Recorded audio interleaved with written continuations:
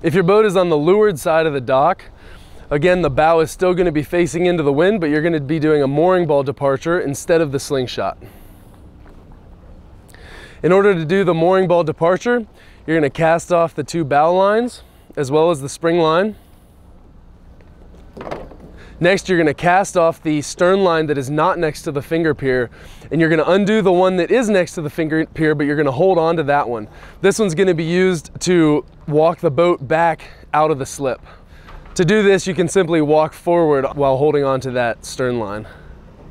Next, you're gonna take that line and cleat it off onto the bow cleat that sets your boat up for the departure. Now that that line is cleated, you can go ahead and raise the mainsail. You again want to make sure that the main sheet is loose so that the boat doesn't come under sail and sail directly back into the slip once the main is raised. Once the main is raised as much as you can uh, by hand, you're gonna again use the winch to raise it the rest of the way. Now that the mainsail is raised, you can uncleat that line that's holding you onto the finger pier.